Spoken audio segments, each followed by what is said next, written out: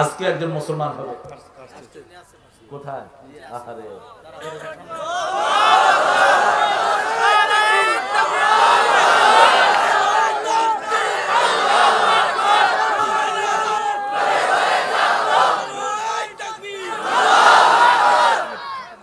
সূরা বনি ইসরাইলের ভিতরে আকিমিস সালাতা লিদুলুকিশ শামসি ইলা ওয়াসাকিল লাইলি। কুরআনাল ফজর ইন্না কুরআনাল ফজর কানা মাশহুদা সকাল হলো, শুনে রে আজান।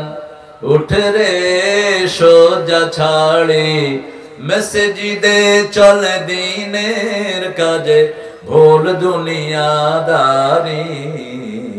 সকাল হলো অজু করে ফেলরে ধুয়ে, নিশীথে রাতের গ্লানি, সেজদা করে যায় নামাজে, ফেলে রে চোখের পানি, তোর হেসে নিশি প্রভাত হবে, সুখে দিবি পাড়ি।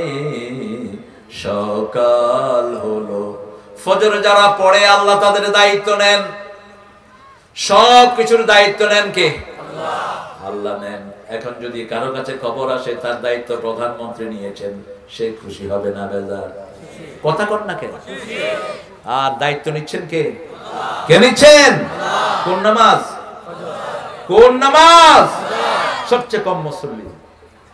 গতকালকে আপনাদের কটিয়াদের এক মসজিদে গেলাম। আমি যখন নামাজে দাঁড়াই, মুসল্লি ছিলেন আটজন।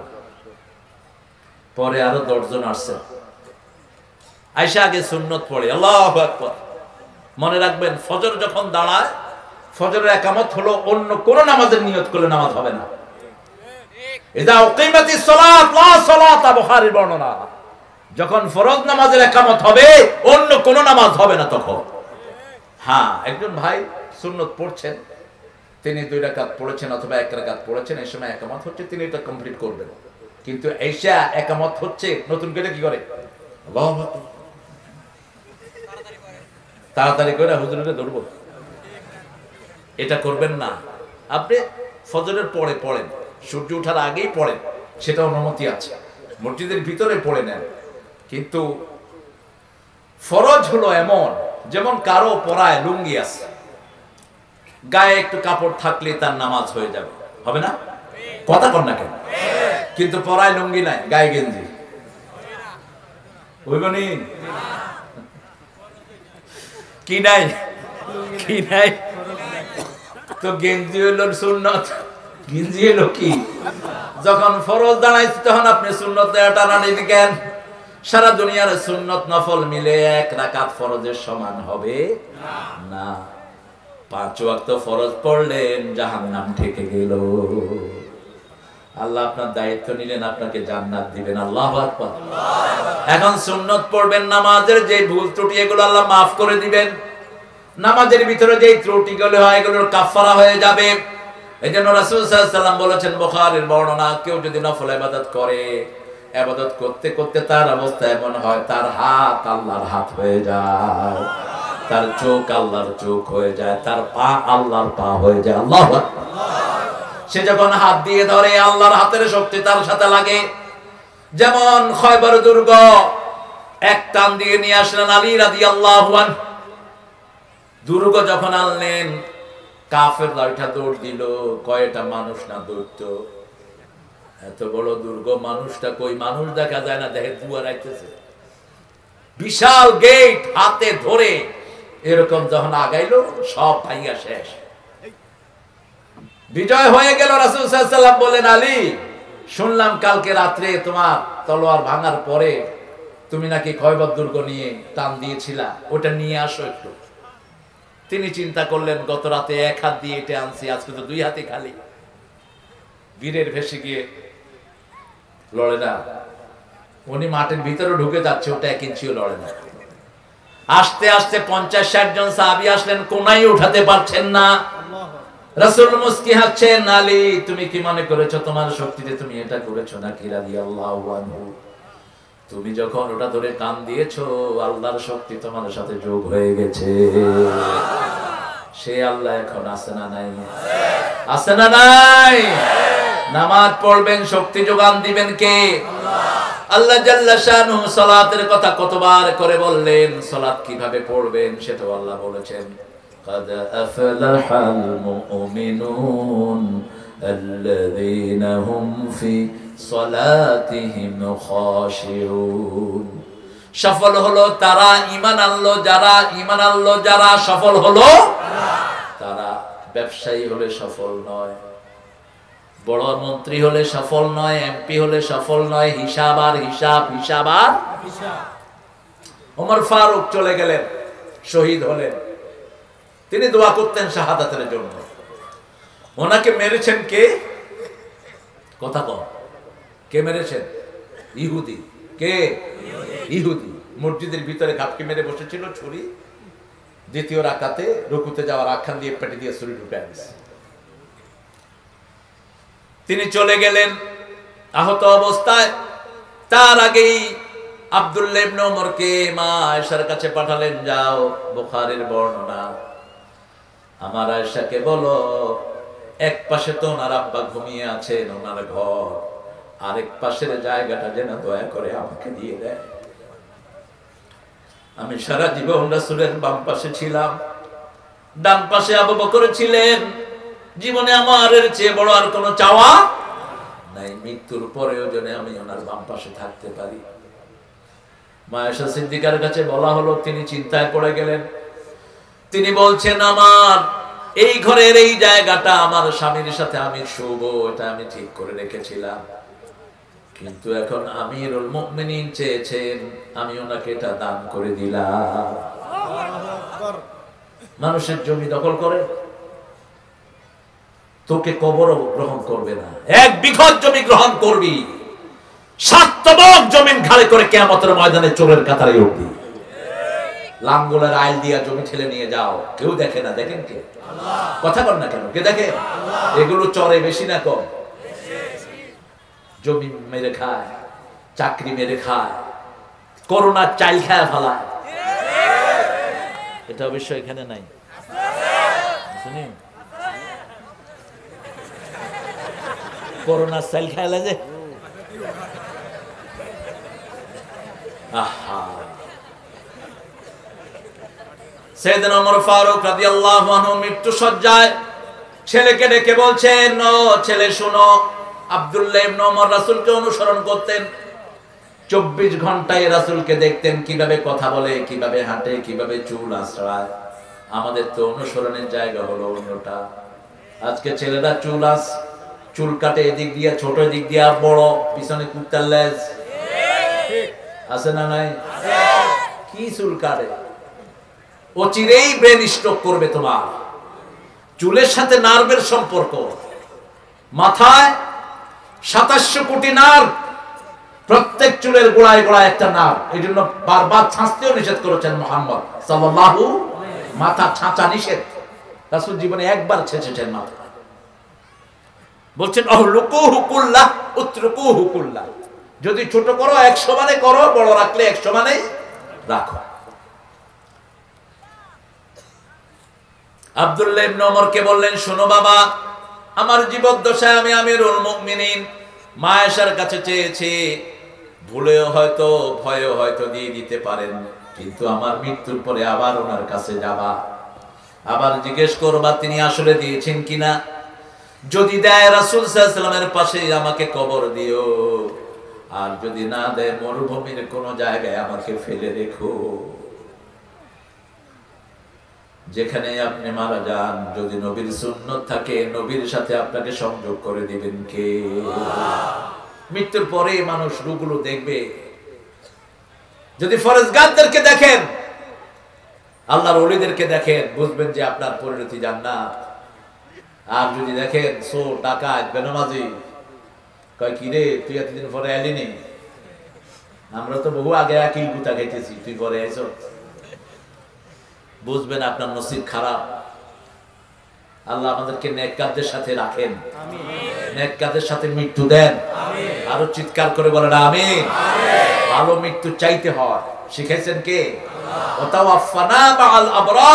হে আল্লাহ নেককারদের সাথে আমাদেরকে মওত দিয়ে দেন। পাঁচ ওয়াক্ত নামাজ পড়তে হবে। নামাজ পড়া ছাড়া নেককার হওয়া যায় সৎকা দেয়া ছাড়া নেককার হওয়া যায় না। সৎকা যারা যায় না, তারা নেককার না। অর্থনীতিতে যারা মন্দা তারা খারাপ লোক। যারা মানুষের টাকা মেরে খেয়েছে, যত বড় সুফি হোক, যত বড় মাদ্রাসা মসজিদ করুক এটা খারাপ লোক। এদের শাস্তি হবে খুব বেশি। জনগণ মাফ না করলে আল্লাহ তারে মাফ করবে।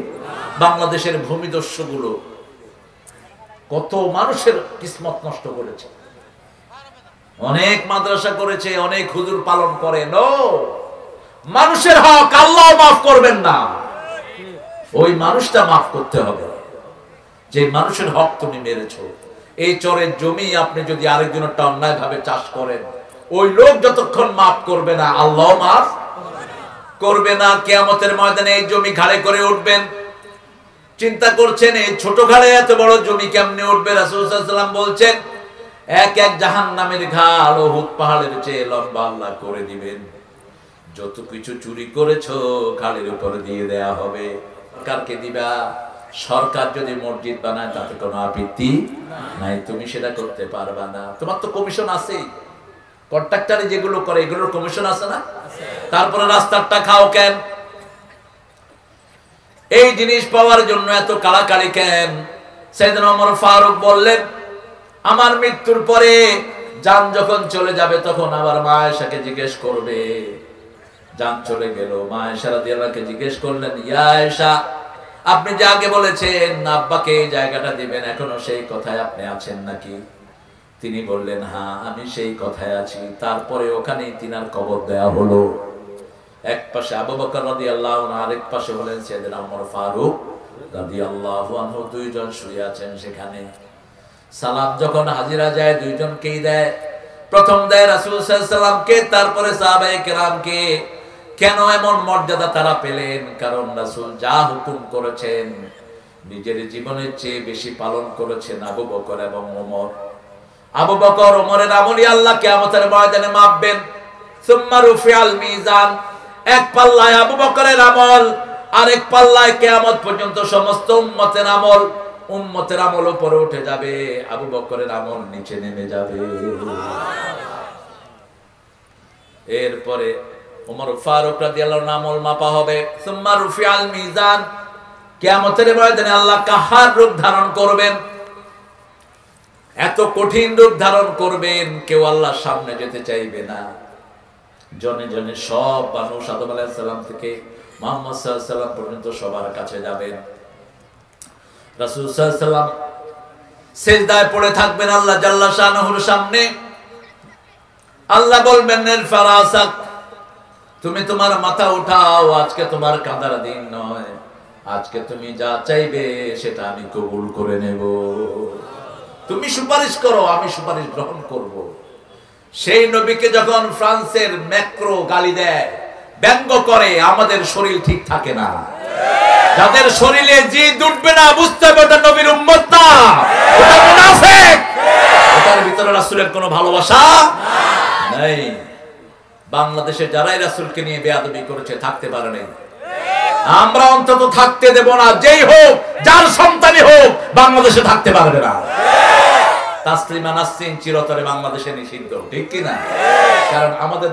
হিন্দু ভাই ভালো বাসে ঝাড়ু নিয়ে ইন্ডিয়াতে গেছে তাসলিমা হিন্দুরা এই আমি মুসলমান আমি মুসলমান। মুসলমান নানি? তুই রাসূলকে গালি দিয়েছ, তুই মুসলমান কেমনে হস? এই জন্য আজকে একটা ওয়াদা করব, পাঁচ ওয়াক্ত নামাজ আর ছেড়ে দেব না, রাজি আছেন না নাই? একটু আল্লাহকে হাত তুলে দেখান। বলেন, হে আল্লাহ, জীবনে আর কোনদিন ফরজ নামাজ, ফরজ রোজা, ফরজ পর্দা, ফরজ কোরআন মানা, ছেড়ে দেব না। আমিন। ইয়া রাব্বাল আলামিন। কোরবানির জন্য রাসূল সাল্লাল্লাহু যেটা বললেন, কোরবানি কীভাবে করবেন? কোরবানি হলো আল্লাহর নামে স্যাক্রিফাইস করা। যেমন কোরবানিতে আল্লাহ জাল্লা শানু দোয়া শিখিয়েছেন রাসূলের মাধ্যমে, কুল ইন্না সলাতি ওয়া নুসুকি ওয়া মাহইয়ায়া ওয়া মামাতি লিল্লাহি রাব্বিল আলামিন। ওয়া বিযালিকা উমিরতু ওয়া আনা আউওয়ালুল মুসলিমিন। রাসূল সাল্লাল্লাহু আলাইহি ওয়াসাল্লাম নামাজে এই পড়তেন। তাকবীরে তাহারিমা বেদে আয়াতটা পড়তেন। তাকবীরে তাহারিমা বেদে ইন্নি এটাও পড়তেন সানা হিসাবে। আবার অনেকগুলো বিভিন্ন সময় পড়তেন। যেভাবে নামাজ পড়েছেন, সেইভাবে আমরা পড়ব। যেভাবে কাপড় পরেছেন, সেইভাবেই পরব টাকনুর নিচে কাপড় হারাম কাপড়। টাকনুর নিচে যারা কাপড় পরে, তারা জাহান্নামী। টাকনুর নিচে কাপড় যেটা গেল, ওটা জাহান্নামের ভিতরে ঢুকে গেল। টাকনুর নিচে যারা কাপড় ঝুলিয়ে পরে এদের অজুও নষ্ট হয়ে যায়। নাসাইর এক বর্ণা সাল্লাম বলেছেন টাকনুর নিচে কাপড় পরে যারা নামাজে দাঁড়ায়, এদের অজুও থাকে না। কেন এত? এটার জন্য কেন এত তাগিদ দিলেন? কেন এত তাকিদ দিলেন, তিন ব্যক্তির দিকে আল্লাহ তাকাবেন না, পরিশুদ্ধ করবেন না, উল্টিয়ে নিয়ে জাহান নামে ফেলে দেয়া হবে। তার মধ্যে প্রথম ব্যক্তি হলো টাকুর, নিচে যারা কাপড় ঝুলিয়ে পড়ে দুই নম্বর ব্যক্তি খোটা দিয়ে, দান দিয়ে খোটা দেয়, বুখারের বর্ণনা। তিন নম্বর ব্যক্তি পিতামাতার নাফরমান, পিতামাতাকে কষ্ট দেয়, পিতামাতার হক আদায় করে না। নিজে বহু টাকার মালিক, পিতা রিক্সা চালায়ও খায়, এরকম আছে না নাই? নিজে বহু টাকার মালিক, পিতার সাথে দুর্ব্যবহার করে, হোক তোর পিতাও শিক্ষিত, কিন্তু তোর পিতা নবীর পরেই তার মর্যাদা। তোমার মা নবীর পরেই তার মর্যাদা। কে দিয়েছে? হোক সে পাগলিনী, পিতামাতার সাথে বেয়াদবি যারা করে, নবীর সাথে বেয়াদবি করলে যেমন আমল নষ্ট হয়ে যায়, পিতামাতার সাথে বেয়াদবি করলেও আমল নষ্ট হয়ে যায়। হোক সে পিতামাতা কাফের, হোক সে পিতামাতা বেনামাজি। আল্লাহ বলছেন, সাহেবহুমা ফিদ দুনিয়া মারুফা বি শাইআ, মা লাইসা লাকা বিহি আলিম, ফালা তুতিহুমা, সাহেবহুমা ফিদ দুনিয়া মারুফা। যদি তোমাকে বাধ্য করে শিরক করার জন্য ফালা তুতিহুমা, তাদের অনুসরণ করো না। সাথে সাথেই বলেছেন, সাহেবহুমা তবে ঘাল মটকিয়ে নিষেধ করো না, চোখ রাঙিয়ে ঝিড়কি দিয়ে কথা বলো না, সর্বশ্রেষ্ঠ ব্যবহার পিতামাতার জন্য করো। কার কথা? কার কথা? কীরকম ব্যবহার করবেন? কীরকম ব্যবহার করবেন সেটার ব্যাখ্যা দিচ্ছেন বনি ইসরাইলের ভিতরে। আল্লাহ জাল্লা শানহু বলছেন, লা তাকুল্লাহুমা উফফিন ওয়ালা তানহারহুমা। পিতামাতা উফ বলে, এরকম কাজ করো না, অথবা তুমি উফ বলো, এরকম কাজও করো না। পিতামাতার কাছেই থাকো। পাঁচটা সন্তান সব বিদেশে। একটাও পিতামাতার কাছে নাই, কোরআনের খেলাফ কাজ করলা, রাসূলের সুন্নতের খেলাফ করলা, পিতামাতার কাছেই থাকো। যাতে তিনি উফ বললে তুমি তার কাছে যেতে পারো, উফ যেন মুছে দিতে পারো। উফ বলার আগেই তুমি সেখানে গিয়ে হাজির হবা। প্রথম বলেছেন স্নান করবা। দশ টাকা দেয়া ভালো, একশো টাকা দেয়া এহসান, দুইটা লুঙ্গি দেয়া হলো ভালো, চারটা লুঙ্গি দেয়া হলো এহসান। মায়ের হাতে পাঁচ হাজার টাকা দিলে মায়ের মাসটা চলে যায়, কিন্তু দশ হাজার টাকা দেয়া হলো এহসান। ভালোর ডাবল হলো এহসান, কারণ আপনার মা বাবা যখন আপনাকে লালন পালন করেছে, কোনোদিন টাকার হিসাব করে নাই। সন্তান যখন অসুস্থ হয়েছে সন্তানের জন্য ধার করেছে কর্য করেছে, কখনো টাকার দিকে তাকায় নাই। এখন যখন তারা বৃদ্ধ হয়েছে, আপনি কেন হিসাব করে করে কাজগুলো করবেন?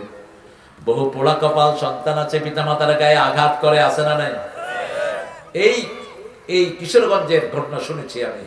মাকে পিটিয়ে বাড়ি থেকে বের করে দিয়েছে ছেলে। এখন দেখি ইন্টারনেটে বহু হুজুর আছে, বাপের সাথে দুর্ব্যবহার করে। এগুলো কি হুজুর? হ্যাঁ? অস্করণীর নাম শুনেছেন তো আপনারা? এত এত মর্যাদা কেন পেলেন তিনি? রাসূলকে ভালোবেসেছেন সাল্লাম কিন্তু তিনার সাথে দেখা করতে পারেন নাই। রাসূল সাল্লাল্লাহু আলাইহি সাল্লাম নিজের যুগ্ম মোবারক অস্করণীকে দিয়ে গেলেন। আর ওমর ফারুকের মতো জান্নাতি সাহাবীকে বলছেন তার সাথে দেখা করবা। তার থেকে দোয়া চাইবে আর কি মর্যাদা আল্লাহ তাকে দিয়েছে। কি ছিল ওনার শান? মা ছিলেন অসুস্থ, মার খাওয়া দাওয়ার সব দায়িত্ব ছিল অস্করণের উপর। মাকে রেখে তিনি কোথাও যান নাই, মায়ের খেদমত করেছেন সারা জীবন। রাসূল সাল্লামের রফাত মুবারকে মুবারকে পরে ওনার মা মারা গেলেন। এই জন্য তিনি রাসূলের সাথে দেখা করতে পারেন নাই কিন্তু রাসূল সাল্লামকে এত ভালো তিনি বাসতেন। রাসূল সাল্লাম যখনই আক্রান্ত হয়েছেন, তিনিও নিজে আক্রান্ত হয়েছেন। রাসূল সাল্লামের সুন্নতের সবচেয়ে বেশি পায়বান তিনি করতেন। শুধু মায়ের খেদমত করার কারণে রাসূল সাল্লাম বলেছেন, ওমর, তুমি আমার জুব্বাটা অস্করণীকে উপহার দিয়ে দিও। আর এই জুব্বাটা দিয়ে তুমি অস্করণীর কাছে দোয়া চেয়ে নিও। বদরের সব সাহাবীদেরকে আল্লাহ মাফ করে দিয়েছেন। বদরের সাহাবীরা সব জান্নাতি। বদরের ওই মাটিতে কেউ ঢুকতেও পারবে না, বের হতেও পারবে না। বদরের সেই মাটি এখনও আছে। ওখানে আর কারও কবর কসব গ্রহণ করা হয় না।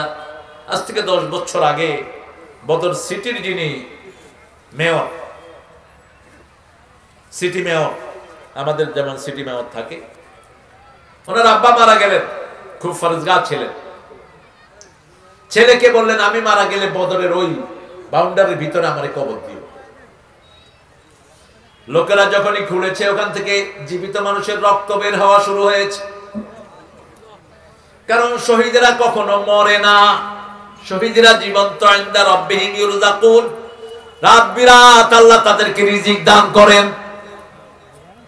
শহীদদেরকে মৃত বলাও জায়েজ নাই। ওয়ালা তাকুলু লিমান ইউকতালু ফি সাবিলিল্লাহি আমওয়াত বাল আহইয়াউ ওয়ালাকিন লা তাশউরুন আল্লাহর পথে যারা দিয়েছে জীবন, তাদেরকে তোমরা মৃত বলো না বলো না মৃত।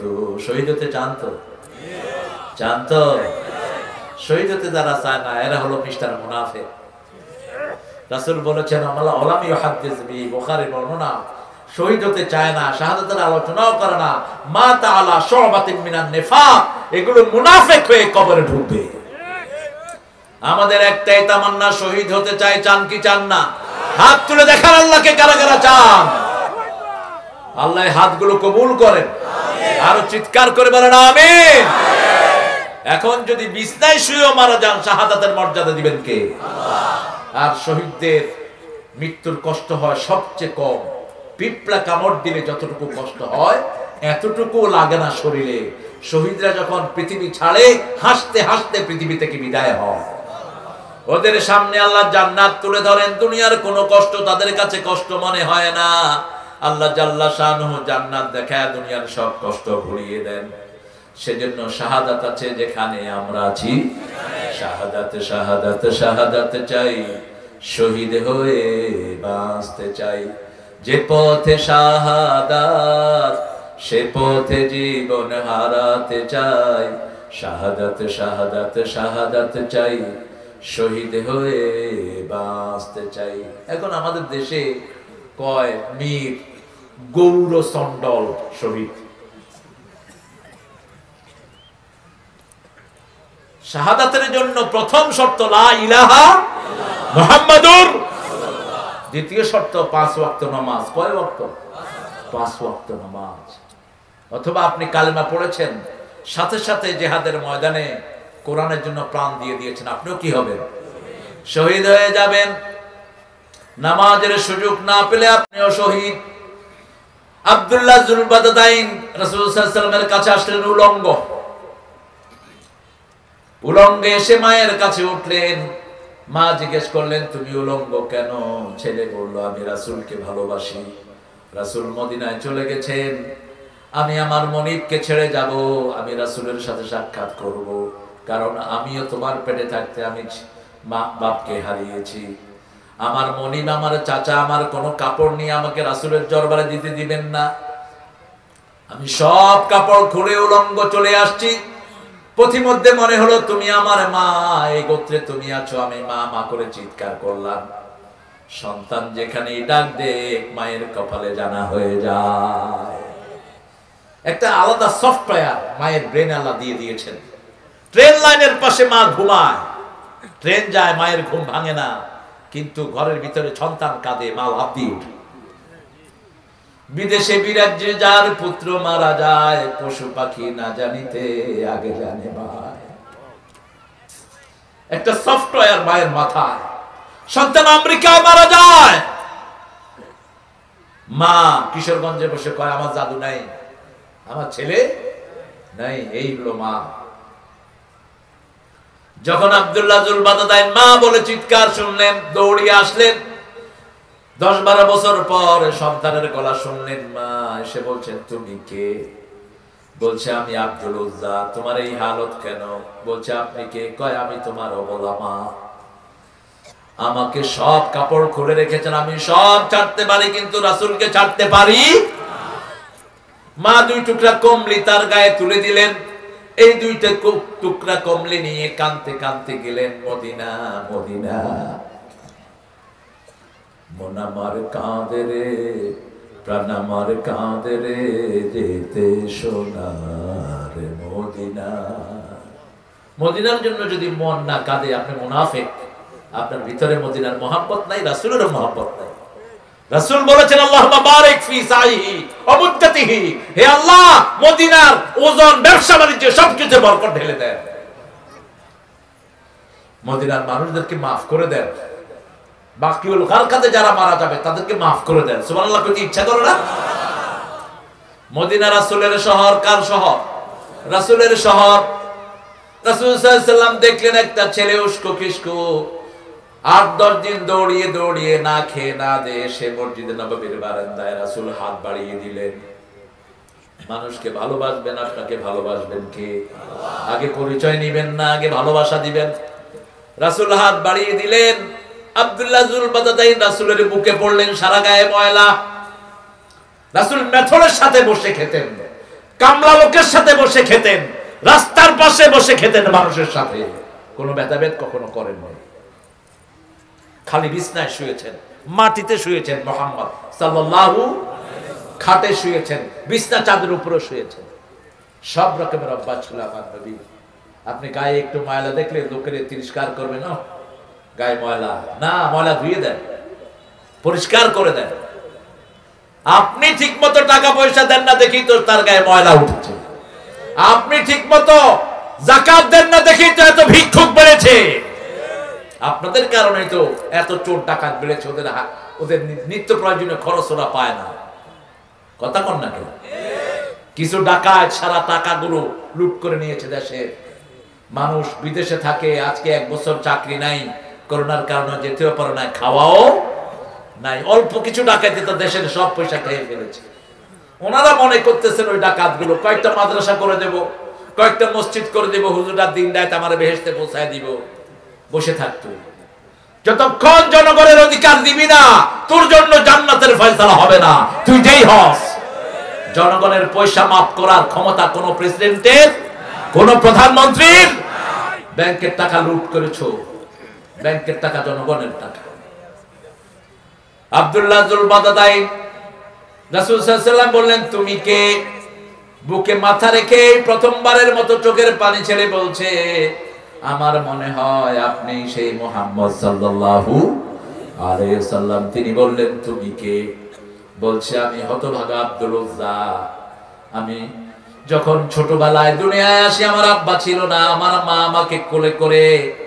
বড় করেছেন। যখন আমি হাঁটা চলা শিখেছি, মা আমাকে বলেছেন, তোমার দুঃখ বলতে চাইলে মোহাম্মদের কাছে যেও।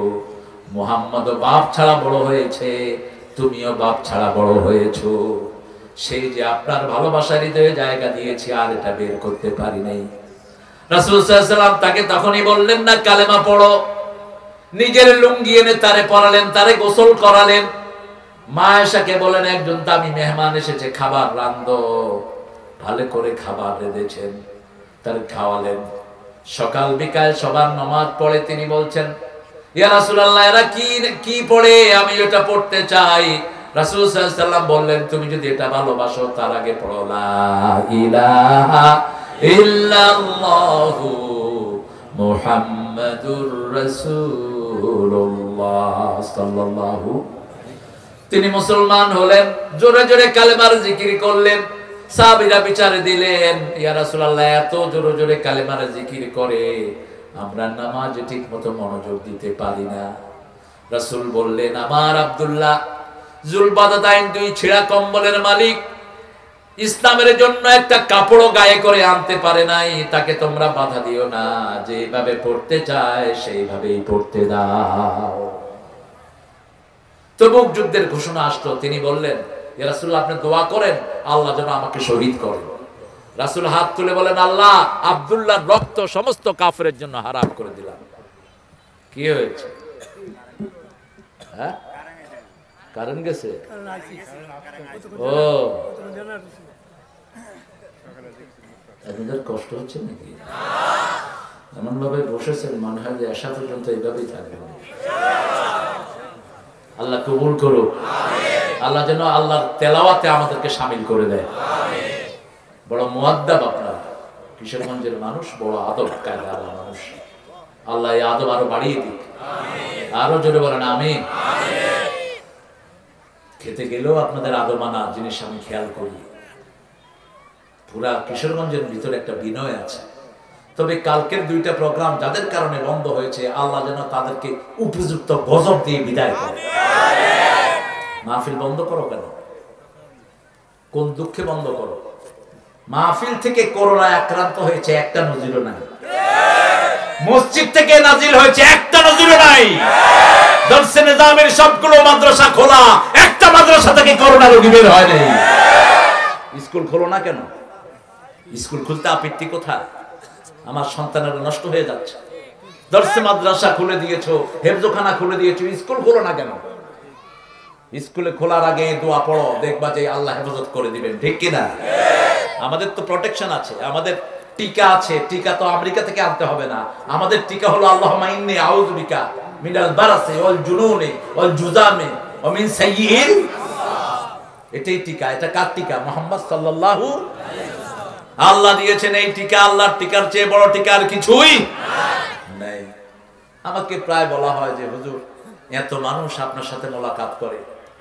ওই কটিয়া দিতে অন্তত দশ হাজার লোকের সাথে আজাদি হয়েছে। তো যত বুক মিলায় তত দেহি সুস্থ লাগে।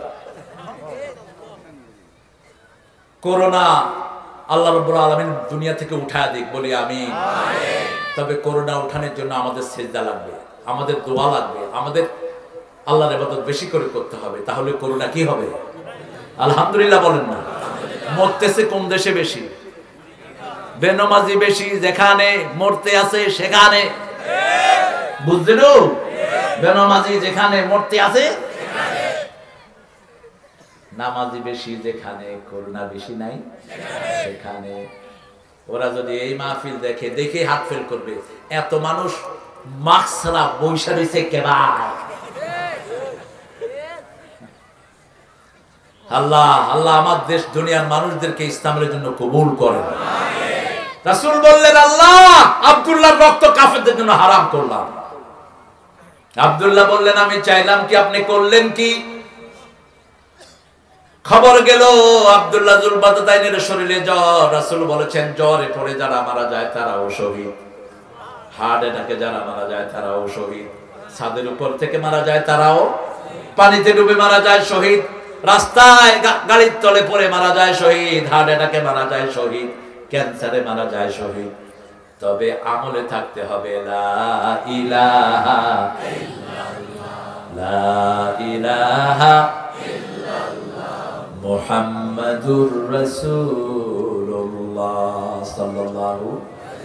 মাহফিলে নিষেধাজ্ঞা আসে একটা কারণ।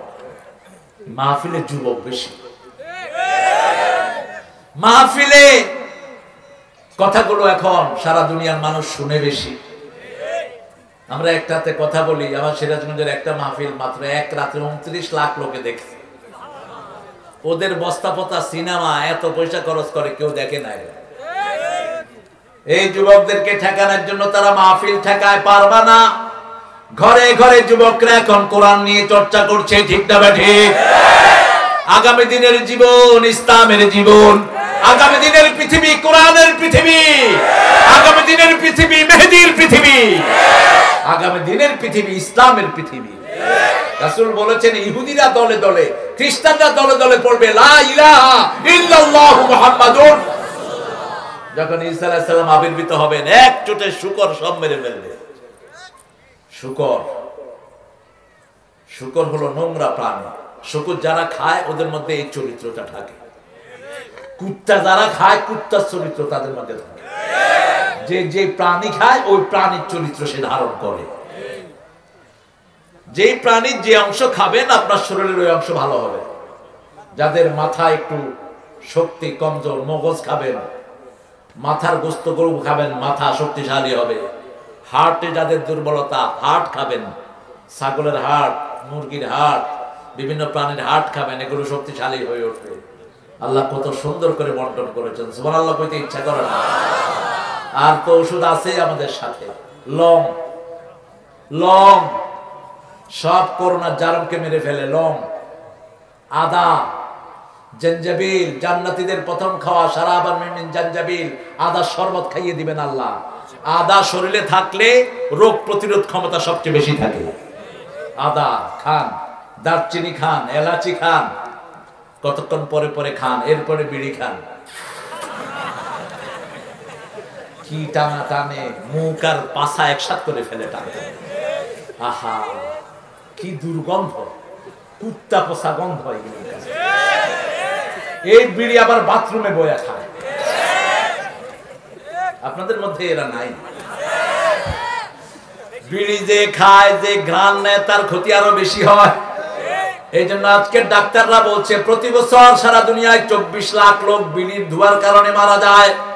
যতগুলো বিড়ির মালিক আছো, কেয়ামতের ময়দানে আসামির কাঠ ঘোড়ায় উঠবে সেই দিন। খাওয়ার ভিতরে ফরমালিন দেয়। নামাজের সেজদা দিতে দিতে কপালে দাগ ফেলেছে। তোর ফরমালিন খায়া পোলাপানের হাট শেষ। পোলাপানের কিডনি শেষ, তোর কোনো আমল কবুল হবে না। মানুষের হক যারা নষ্ট করেছে, তাদের কপালে ভোগান্তি আসরা নাই? হঠাৎ করে লবণের দাম পঞ্চাশ টাকা। পেঁয়াজের দাম ধরা সোয়ার বাহিরে। আর যিনারা এই কাজ করেন, ওনাদের নাম হলো সিন্ডি খোট সিন্ডি খ্যাট সিন্ডিকেট মারাও রাসুসাল্লাম বলেছেন, যারা কৃত্রিম সংকট বাজারে সৃষ্টি করে এরা যদি সব পয়সা আল্লাহর রাস্তায় দেয় যে ক্ষতি মানুষের করেছে, এটা তারা পোষাতে পারবে না। মানুষের হক দাও, তারপরে সেজদা দাও, কবুল করবেন কে? রবের জন্য নামাজ পড়ো আব্দুল্লাহ অসুস্থ হলেন।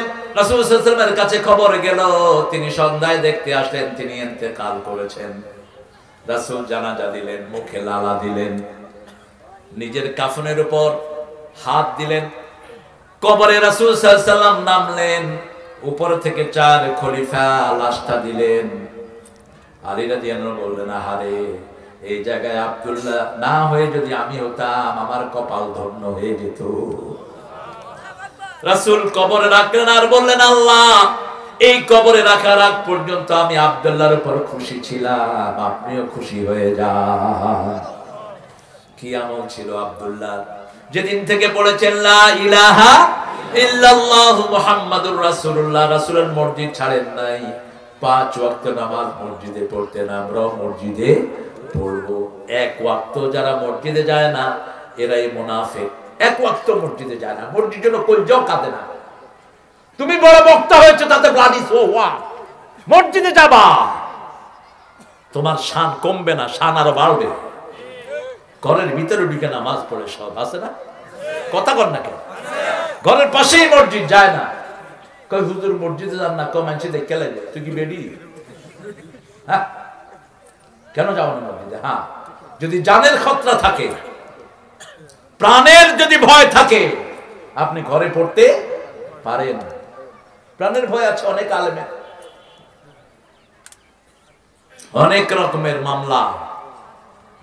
ঠাকুর গায়ে হিন্দু মুসলমান হয়েছে, আমার বিরুদ্ধে মামলা। তো এখন বোধ রাসুসাল্লাম থাকলে ওনারাও এরা বাঁচতে দিত না। এরকম কিছু ভালো মানুষ আছে এখন, কোরআনের জন্য পরিশ্রম করে, আছে না? কিছু দুষ্ট আজকে একজন মুসলমান হবে। কোথায়? আহারে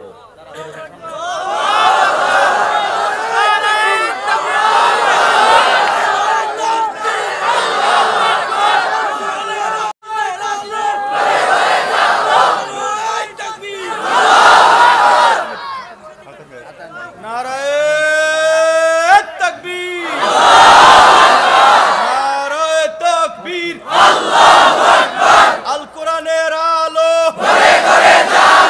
আল হাদিসের আলো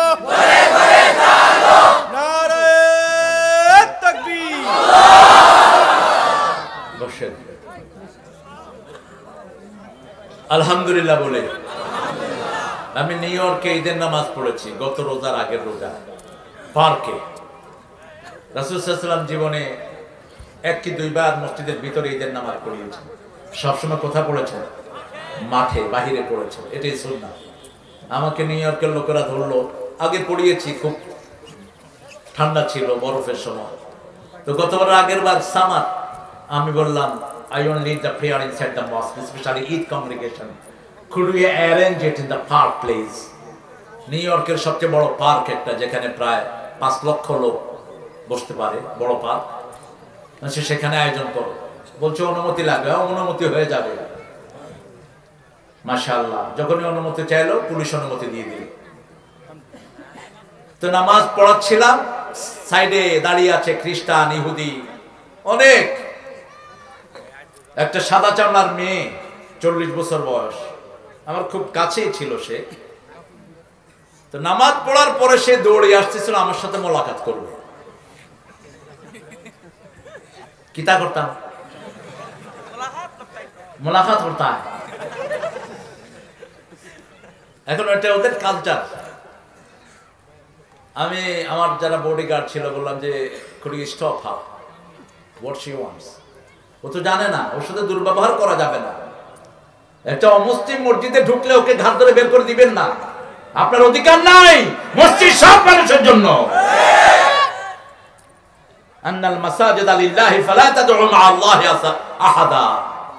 সব মসজিদের মালিক আল্লাহ, কোন মসজিদ লেভেলিং করবা না।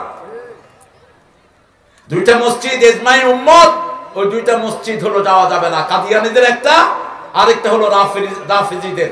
বাংলাদেশে কোনো রাফিজি নাই, কিন্তু কাদিয়ানি আছে না নাই? কথা বলেন না কেন? এগুলো সরকারি ভাবে সহযোগিতা নিয়ে এগুলো বন্ধ করিয়ে দেন। এরা ঘাপটি মেরে বসে থাকে, নাম হলো আহমাদিয়া জামাত। আহমাদিয়া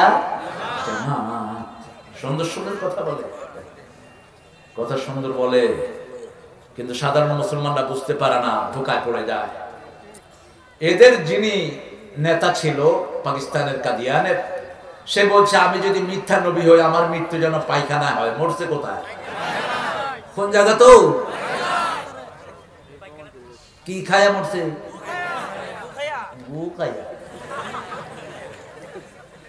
আল্লাহ আমাদেরকে হেফাজত করেন। আরও জোরে আমিন। হ্যাঁ তোমরা আমার নবীর খতমে নবুয়াতকে তোমরা বিশ্বাস করে নাও। তোমরা ওই আকিদা থেকে ফিরে আসো, তোমরাও কালেমার হয়ে যাবা, ঠিক কি না আমাদের সাথে কারও কোনো বিরোধ নাই, কিন্তু কোরআনের একটা অক্ষরকে যে অস্বীকার করবে, আমরা তাকে অস্বীকার করি। রাসূলের একটা সুন্নাহকে অবমাননা করবে, সে আমাদের বন্ধু হতে পারে আব্দুল্লাহ জুলবাদা কপালটা কতই না সুন্দর, সুবহানাল্লাহ করবেন না। পাঁচ ওয়াক্ত নামাজ শুরু করবেন, নামাজ দিয়ে শেষ করবেন, নামাজ দিয়ে যে কোনো বিপদে পড়লে নামাজ। কালকে আপনাদের কিশোরগঞ্জের এক ভাই, আমি নাম বললে আপনার চিনবেন বলব না। ওনার মেয়ে পরীক্ষা দিয়েছে, বিসিএস পরীক্ষা। বিসিএস পরীক্ষা উনি এডুকেশন কোর্স চেয়েছেন। তো ওনার মেয়ে ভাইবাতে পাশ করেছে, রিটেনেও পাশ করেছে, কিন্তু এখন পদ দেয়া হচ্ছে না, ওদের বাড়িতে আমি গেছিলাম। ওদের বাড়িতে আমি গেছি। এই জন্য ওর এটা হচ্ছে না। ও মামলা করল। মামলা করার পরে জজ যিনি ছিলেন, তিনি ইনসাফ গাছ ছিলেন তিনি বললেন যে তারেক মনার তো নিষিদ্ধ কিছু না। উনি টেলিভিশনে কথা বলেন, বিগত তিরিশ বছর ধরে দুনিয়ার বহু জায়গায় কথা বলেন। ওনা, উনি ওনার বাসায় যেতেই পারেন। তাতে ওনার চাকরি হবে না কেন? মহিলা ছিল, শিক্ষা করে মহিলাকে নিয়ে প্রশাসনে দিয়ে দিয়েছে। মানে এত প্রমোশন হয়েছে, এখন মহিলা টিউন হয়ে গেছে। তার আব্বা কি করলেন? যখনই মেয়ে, মেয়ের কেস চলছে, বাপ মসজিদে ঢুকেছে, সারা রাত মসজিদে সেজদা দিয়ে পড়েছিল। এখনও সেজদা দিলে আল্লাহ ফিরায় না। যখনই বিপদ দেখেন, সেজদায় পড়ে যান। উসজুদু আত্তারিব সেজদা দাও, আল্লাহর ওলি হও। যত বিপদ, সব সময় তিনি সেজদায় পড়ে যেতেন। বদরের তিনি সেজদায় পড়ে দোয়া করছিলেন। ময়দানেও সেজদায় পড়েছিলেন।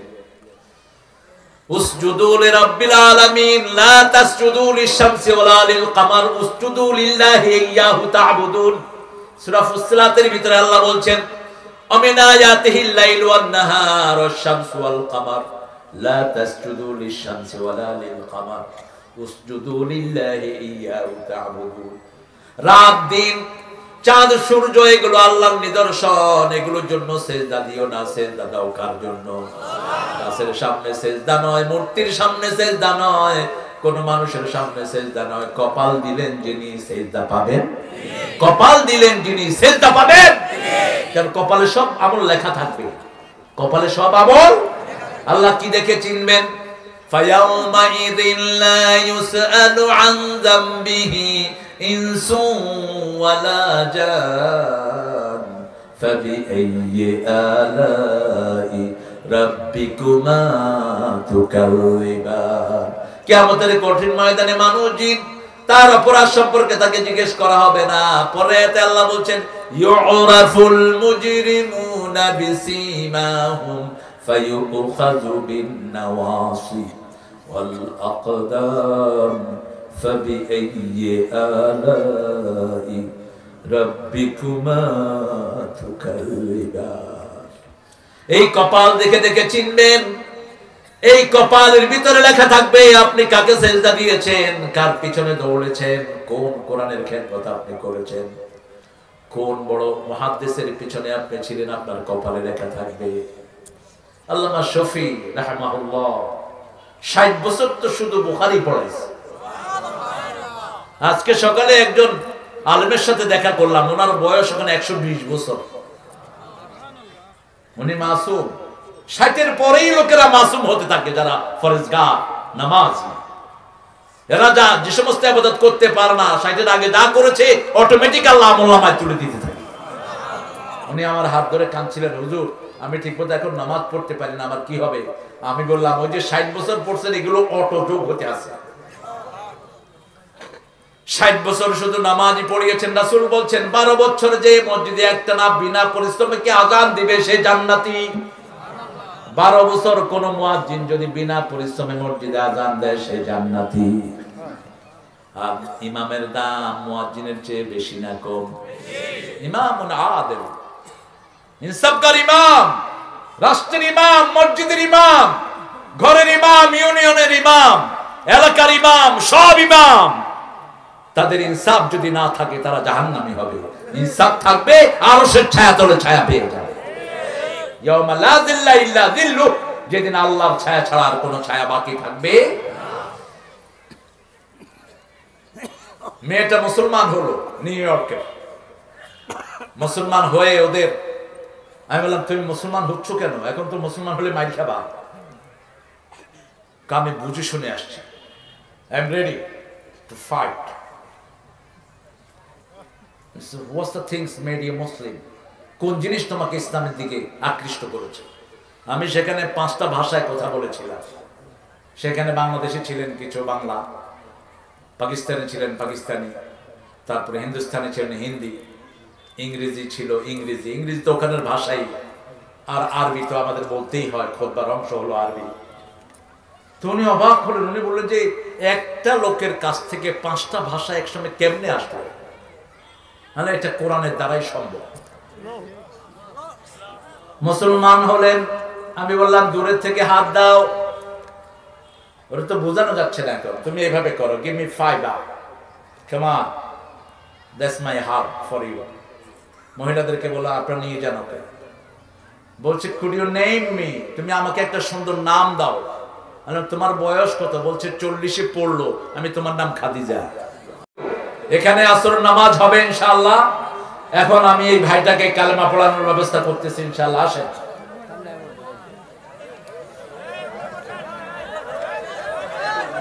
বলেন, লা ইলাহা ইল্লাল্লাহু মুহাম্মাদুর রাসূলুল্লাহ।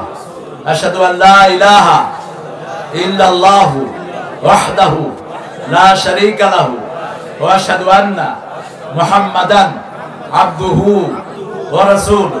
আমি সাক্ষ্য দিচ্ছি, আল্লাহ ছাড়া কোনো ইলাহা নেই।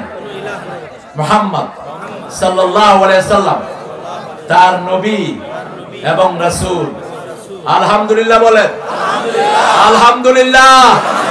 দোয়া করব এখন। আমাদের সভাপতি সাহেব দু একটা কথা বলবেন? ইনশাআল্লাহ। বলবেন না? আরে কত বিনয় মানে কেমন আছেন আপনি? আলহামদুলিল্লাহ। আমরা এখন দোয়া করব সবার জন্য।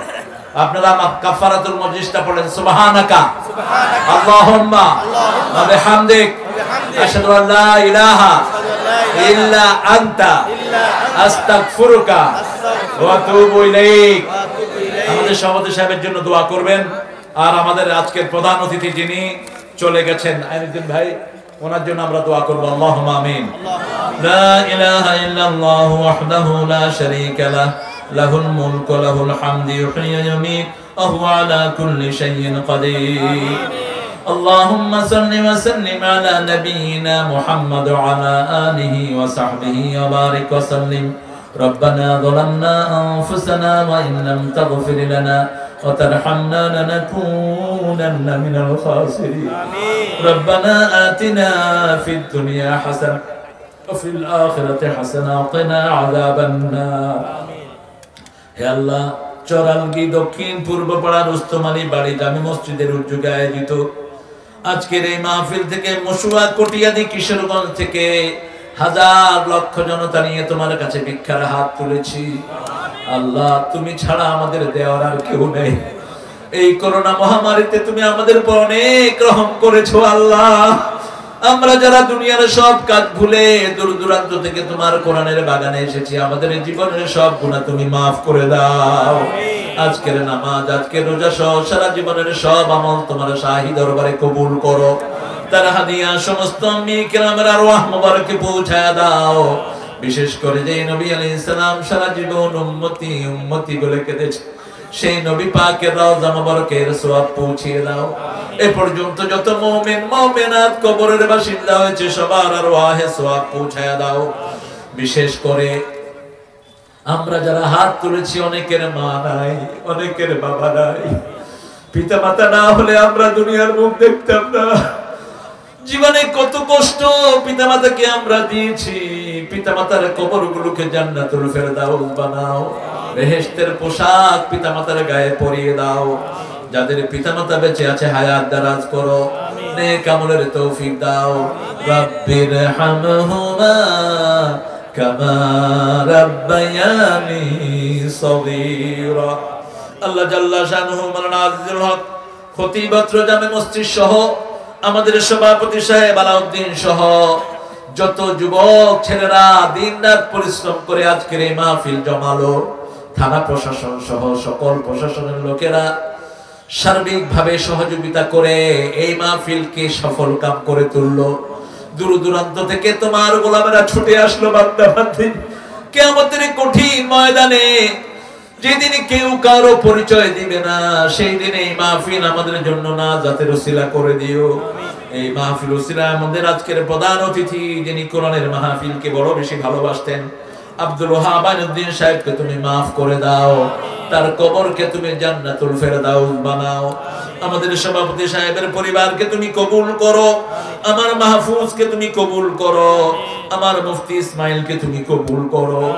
যত দায়ী বাংলাদেশে দাওয়াতের ময়দানে কাজ করছে আমার মিজাজ আমার আমির হামজা, আমার বেলালি, আমার আলামিন আমার নাসিরউদ্দিন হেলালি, ফখরুদ্দিন সহ যতজন কোরআনের মাঠে কথা বলছে সবাইকে তুমি হেফাজত করো। আল্লাহ জাল্লা আমাদের যত আলেম চলে গেছেন আল্লামা শফি আল্লামা কাসিমি সাহেব সহ আল্লামা সিফায়তুল্লাহ হুজুর সাহেব সহ সবাইকে তুমি মাফ করে দাও আল্লাহ জাল্লা শানুহু যারা বেঁচে আছেন বাবুনগরী আমাদের প্রিয় উস্তাদ কামালউদ্দিন জাফরি কাজী ইব্রাহিম সবার তুমি হায়াতকে দারাজ করে দাও। আল্লাহ তাদের এলমি খেদমত আরও বাড়িয়ে দাও। আল্লাহ তাদের থেকে ফায়দা নেয়ার তৌফিক আমাদেরকে দাও। আজকের মাহফিলে যত আলেম এসেছেন, সবাইকে মাফ করে দাও। সকল স্কুলের স্যারকে মাফ করে দাও। যত দাড়ি পাকা লোক এসেছেন, সেদিন আবু বকর রাদিয়াল্লাহু মতো কবুল করো। যত যুবক এসেছেন, আমার মোবারক, আমার রফিকের মতো তুমি কবুল করো। আল্লাহ, যত ছোট ছোট শিশুরা এসেছে, হাসান হোসেন রাদিয়াল্লাহু আনহুর মতো কবুল করো। আমার মা বোনদেরকে মা আয়েশা ফাতেমা রাদিয়াল্লাহু আনহার মতো কবুল করো। নিঃসন্তানের বুক থেকে সন্তান দিয়ে ভরে দাও। আল্লাহ জাল্লা শানুহু যত হিন্দু ভাই বোনেরা এসেছেন তাদেরকে ইসলামের জন্য কবুল করো। আল্লাহ বাংলাদেশের উপরে তোমার খাস রহমত নাজিল করো। সরকারি বিরোধী সব লোকদেরকে পুলিশ আর্মি র্যাব সহ সবাইকে ইসলামের জন্য কবুল করো। কটিয়াদি রসি সাহেবকে তুমি স্পেশালি কবুল করো। আল্লাহ জাল্লা শানুহু কটিয়াদির এমপি সাহেবকে তুমি স্পেশালি কবুল করো। সেই সাথে সকল নেতাদেরকে ইসলামের জন্য কবুল করে নাও। আল্লাহ জাল্লা শানু যেই ঘরের মহিলারা কষ্ট করে রান্না করে, মেহমানের মেহমানদারি করেছে, তাদেরকে তুমি কবুল করো।